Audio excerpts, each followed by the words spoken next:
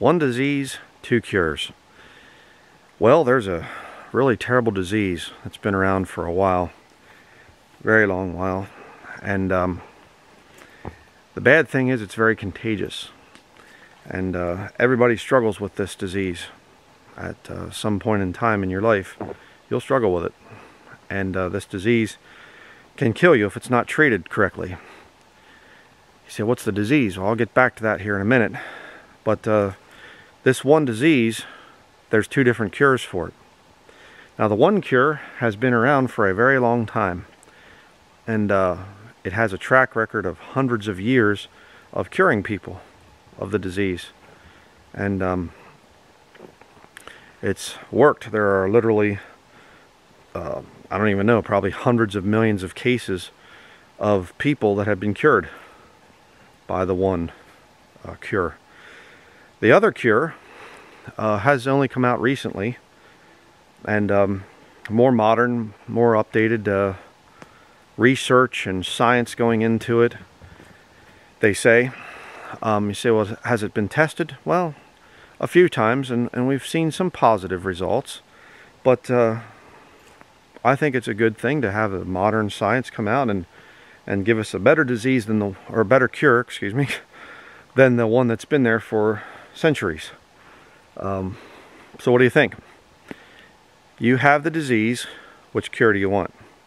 The one cure that's been around for hundreds of years, works millions of times, millions of cases, or the new cure that just came out that hasn't really been documented yet. We aren't really sure. We think it should work.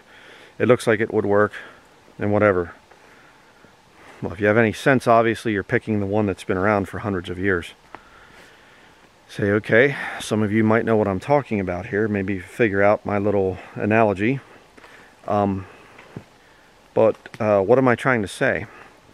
Well, there's a disease out there, it's called sin. All sin is negative. I will always preach that. Every sin that the Bible condemns, uh, it's for a reason. God doesn't try to take away your fun or something like that. God wants you to live a full, happy life um, sin will stop you from living a full happy life.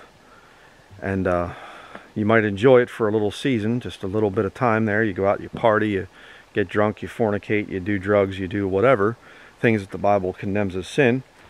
But uh, those things will come back. Be sure your sins will find you out. You might get away with it for a little bit of time but eventually that sin will get you. Um, so what's the cure for sin well, that would be the Word of God. So then faith cometh by hearing, and hearing by the Word of God. Uh, sanctify them through thy truth. Thy Word is truth. And this cure that's been out um, is the King James Bible. And that King James Bible came out in 1611. So that'd be what, 412 years ago, I think, by my calculations, if I'm correct. Being 2023 right now. 412 years of history of lives changed of of amazing truth spread out there. The most published book in the history of the world is the King James Version. And uh, millions of people have had their lives changed by that King James Bible. I am one of them. And uh, so are you if you're saved. And you know the power of that King James Version but now all of a sudden we have these people coming out. In the 20th century especially, there were over 200 new versions brought out in 100 years, all claiming to update the archaic English of the King James Version. And we have more accurate uh, Greek texts now and scholarship and whatever else. Um, why does it need to be updated 200 times in 100 years? Think about that. It doesn't. The English language does not change that rapidly. And um, since when should we update the Word of God anyhow to match modern street slang and whatever else? Um, I mean, does God just say, hey, you know what? Um, as times change, we need to continue to update my Word to keep with popular trends and political correctness and whatever else? No, it doesn't work that way. Um, you don't update the Word of God. But all of a sudden, oh, we have we have better manuscripts. Oh, you mean the ones that were there available to the translators of the King James Bible? At least Vaticanus was. Erasmus knew about it, um, didn't use it because he knew it was corrupt. Um, but the Sinaiticus one, Codex uh, Aleph, if you want to get into the actual title of the thing, that one, there's a lot of proof that it was actually invented in the 1800s. And Constantine von Tischendorf pretended that he had found this ancient manuscript. Um, uh, some good arguments for that. Uh, but the whole point is, oh, you know, we found two manuscripts, and they're supposedly 4th century manuscripts, so they predate a lot of the Textus Receptus manuscripts. Therefore, we found older and better manuscripts. And we need to update the King James Bible. Why? Let's just say that they were older and better manuscripts. They weren't, but let's just say that they were. Um, was the King James Bible not working? Uh, no, the King James Bible was working quite well. If you go back into the 1800s when the naturalistic textual criticism started to rear its ugly head and and uh, all these guys started to come out and question the Word of God, rationalism and all the other things, that, and atheism and evolutionary philosophy in the 1800s, German rationalism and all this stuff, the satanic abominations started coming out in the 1800s. And all of a sudden we have to question the Word of God. We have to start questioning the Bible because it's no good anymore. You see? And uh, now, oh, we, we need to have all these new versions. So it became this big trend, and the Jesuits were pushing a lot of it. And I mean, it's documented history. You have the Jesuit Cardinal Carlo Maria Martini, and he was one of the uh, guys on the board of that uh, produced the Nestle's text the Nestle's text that a lot of men like John MacArthur and James White and some of these other devils, they promote the Nestle's text, created by a Jesuit. Well, he wasn't created by a Jesuit. It was just he was sitting on the board there. I'm sure just silently watching. yeah. And you look at the Nestle's text, the 27th edition, it says about that it was made under the supervision of the Vatican, which I've shown in multiple videos. But uh, that's okay. We can use it. It's it's good and wonderful. It's a more updated, more modern cure than the old King James Bible.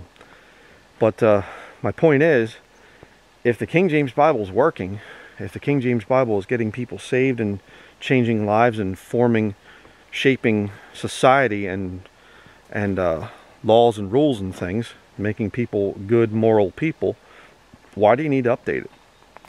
If there is a, if there was actually a real sickness out there in terms of I mean, sin is a real sickness, but I'm saying, say the flu, okay? And you say, what's good for the flu?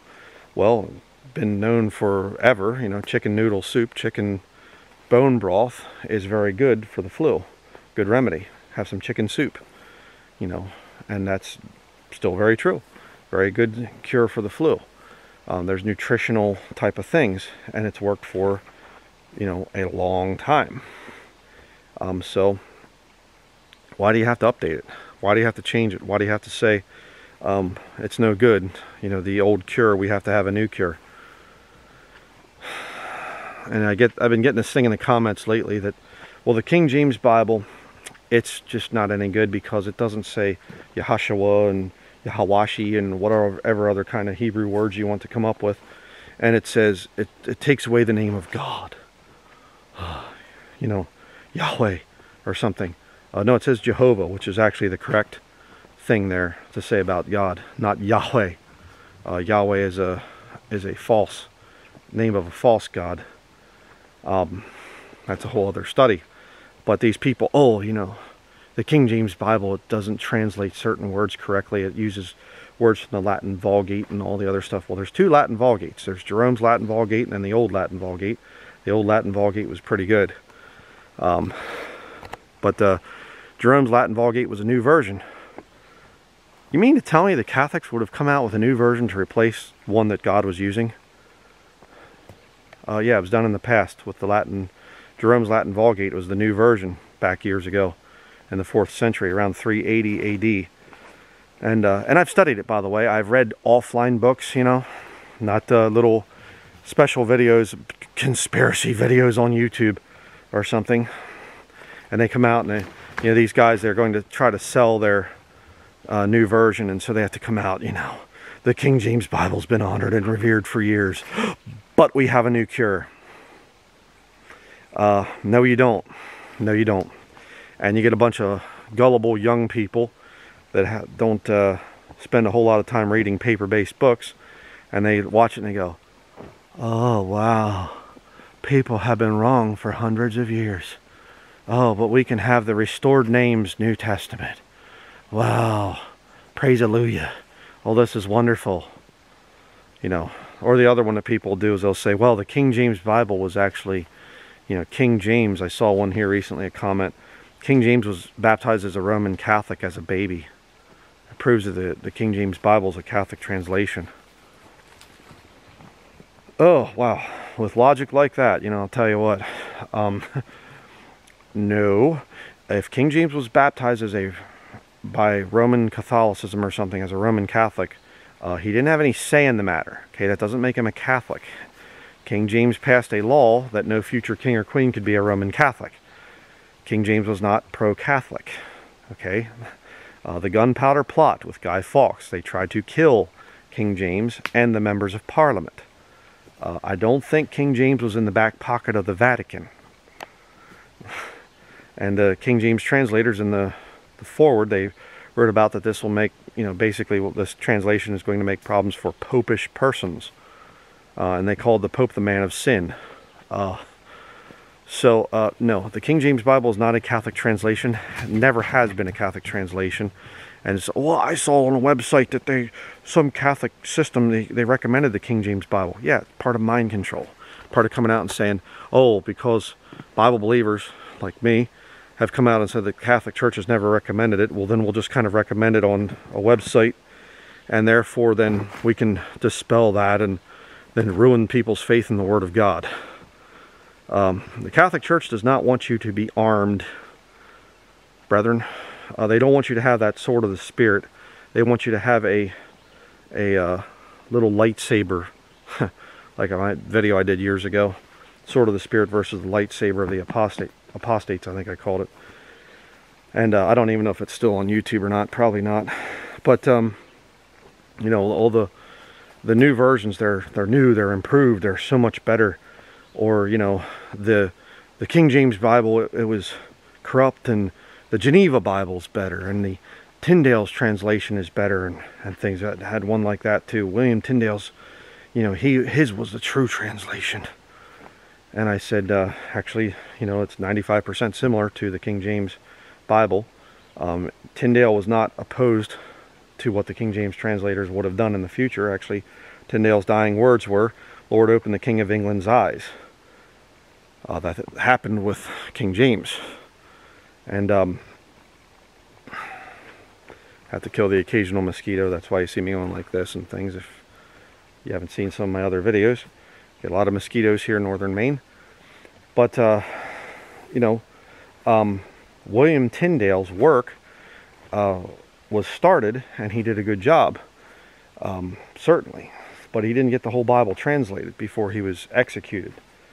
Um, and God is not going to allow one man to make a translation of his word. God used 54 brilliant scholars in, from 1604 to 1611 there was, I think it went down to 47 till the whole process was done. But, uh, I mean, the Lancelot Andrewes and, I mean, some of these other guys you read about, brilliant men. Absolutely brilliant. And, uh, you know, oh, but they're, they were wicked and evil and Francis Bacon actually wrote the King James Bible and all this nonsense, all this stupid nonsense. And what are you left with? Okay, it's all true. The whole thing was a conspiracy. The King James Bible is a, is a corrupt Bible. Okay, what are you left with? Oh, well, that's right, a new cure. Well, that's right, something that hasn't been proven. You see? You see how this whole thing works? Do you see how the devil can come in and wreck your faith in the Word of God? And he'll do it through new versions that come from the Vatican. He'll do it from, oh, you should go back to the Tyndale or the or uh, Wycliffe perhaps or something back in the 1300s. Um, no, you should stick with the King James Bible. I've tested it, I've proved it for years. The purest doctrine comes from the King James Bible. I remember a brother in Christ, we were talking about this the one time, and he read that there was some new version using, promoting uh, professor at some seminary. And the guy literally said, well, there's my son back there. I was thinking, what is that? I saw it in the camera. And this professor literally said, pure doctrine can only come from the King James Bible. And he was not a fan of the King James Bible, but he knew enough to say that the purest doctrine out there comes out of a King James Version. Okay, so um, you can do what you want. Okay, you have liberty of conscience, freedom of conscience, free will up here. You can do whatever you want. But I'm going to use the King James Bible, and none of you are going to wreck my faith in it, and you are not going to be on in the comments section trying to wreck other people. Okay, that's not acceptable. It's uh, sowing discord among the brethren is an abomination. It's a sin, a great and terrible sin. So, I'm being hunted back here, I think. There's a guy behind me there coming. but uh, so uh, your disease of sin, my disease of sin, I know what the cure is. The cure is a King James Bible that's been proven for over 400 years, 412 years. Um, I'm going to take that cure. Uh, you do what you want. Use your new version. Use your Yahawashi, whatever, you know, version that gets the names correct even though the New Testament is written in Greek, but we won't get into that. You know, I mean, get it, get an education. You know, uh, oh no, the, the, it's been hidden at the Hebrew words and what? No, it was written in Greek. All right, uh, and Jehovah is the correct word, not Yahweh. Okay, that's nonsense. It's a bunch of people trying to get you back under the law. Uh, which is condemned in the book of Galatians. So then you have to go in and condemn the book of Galatians because Paul wrote it, not Jesus or something. uh, yeah, go fly a kite, man. Go take a long walk off of a short pier or whatever else you want to say. Um, don't have time for a bunch of stupid heretics. But, uh, yeah, because I've done the study and I've done the research, and that's why I say stupid heretics, because I see a lot of these people, they haven't done the research, they haven't done the work. They'll watch an hour or two of video on YouTube, and now they're an expert and they know all the conspiracy and all the angles to it. And oh, we have to reject the King James Bible. Please. So, don't let anybody wreck your faith in the King James Bible. And um, if you're some young person, by the way, and you think that you can get all that there is figured out about Christianity within, you know, an hour or two, you get this uh, thing of this download dump into your mind, and, and now I'm an expert Christian and, and things. It doesn't work that way, okay? Um, you have to study for years and um, accept your place as a babe in Christ, the Bible says, and uh, accept the fact that you don't know the Bible that well. And it's going to take you a long time, and that you need to be submissive to older Christians, to elders in the church that know the Bible and that have studied the Bible. I'm not just some YouTube dude that showed up and, you know, I have webcam or hold my camera up walking through the woods or something. No, I've been in ministry since 2007 and I studied for 10 years before that. So, um, I've preached in pulpits. I've preached on the street. I've, you know, gone out door to door. I've, you know, had hands laid on me and they've prayed over me and things. Um, I've gone through all the different qualifications.